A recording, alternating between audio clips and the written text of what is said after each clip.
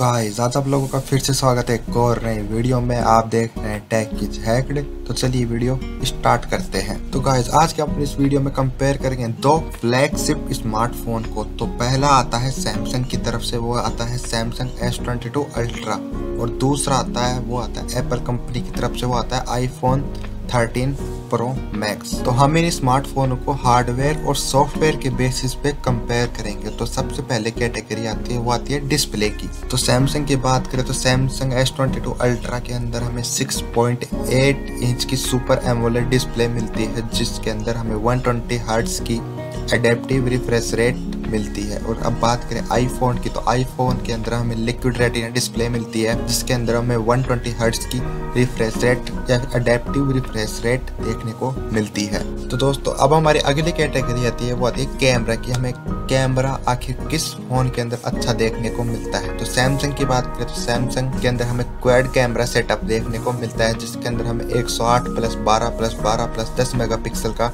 Setup मिलता है। अगर हम बात तब बात करें सेल्फी कैमरा, या फिर कहूँ तो फ्रंट कैमरा की तो हमें फ्रंट कैमरा 40 मेगापिक्सल का देखने को मिलता है।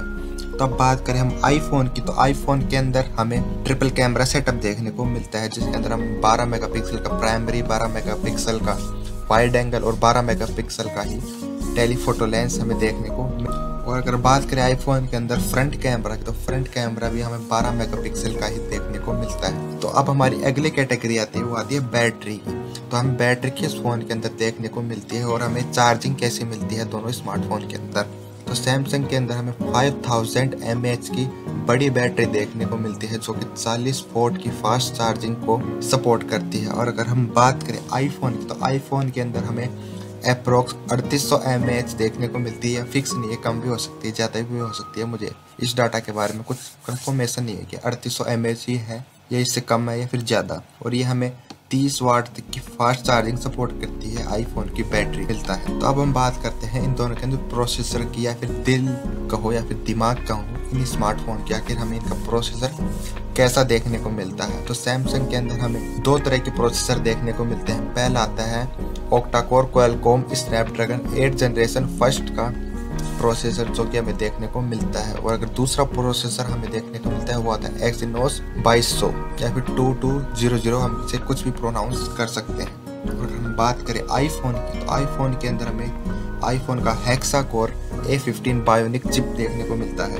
तो दोस्तों प्रोसेसर की बात करें तो प्रोसेसर हमें आईफोन के अंदर काफ़ी ज़्यादा शानदार देखने को मिलता है। आईफोन के अंदर जो प्रोसेसर आते हैं, उन दोस्तों, उनकी परफॉर्मेंस एक नेक्स्ट लेवल होती है। यानी कि और कोई कंपनी के प्रोसेसर एप्पल के प्रोसेसर की बराबरी कर ही नहीं सकते तो इसके अंदर हमें एप्पल का प्रोसेसर काफ़ी अच्छा देखने को मिलता है कंपेयर टू सैमसंग और सैमसंग के अंदर भी जो हमें स्नैपड्रैगन का प्रोसेसर और सैमसंग का खुद का प्रोसेसर एक्जिनोस देखने को मिलता है। वो दोनों भी हमें काफ़ी अच्छी परफॉर्मेंस निकाल के दे सकते हैं। अब हम बात करते हैं कि हम इन दोनों के अंदर कौन सा ऑपरेटिंग सिस्टम देखने को मिलता है या फिर सॉफ्टवेयर जिसके ऊपर ये रन करते हैं, वो हमें आखिर कौन सा देखने को मिलता है? तो हमें सैमसंग के अंदर एंड्रॉइड 12 पर based one U I four देखने को मिलता है। और अगर हम बात करें आईफोन की तो आईफोन के अंदर हमें आई यू एस फिफ्टीन देखने को मिलता है। दोस्तों सैमसंग का एक वन यू आई खुद का यू आई है, जिसके अंदर हमें काफ़ी प्री इंस्टॉल्ड ऐप देखने को मिलेंगी। और आई जो एप्पल का है, मुझे कुछ एकदम या फिर ब्लोटवेयर देखने को नहीं मिलेगा कंपेयर करें टू सैमसंग के। तो अब बात करते हैं इन दोनों फ़ोन की सिक्योरिटी की। आखिर हमें सिक्योरिटी के कौन कौन से फीचर मिलते हैं दोनों फोनों के अंदर? तो सैमसंग की बात करें तो सैमसंग के अंदर हमें फेस आईडी देखने को मिलती है इन डिस्प्ले फिंगरप्रिंट देखने को मिलता है, और अगर बात करें हम आईफोन की तो आईफोन के अंदर हमें सिर्फ़ थ्री फेस आईडी देखने को मिलती है। हमें इसके अंदर फिंगरप्रिंट देखने को नहीं मिलता।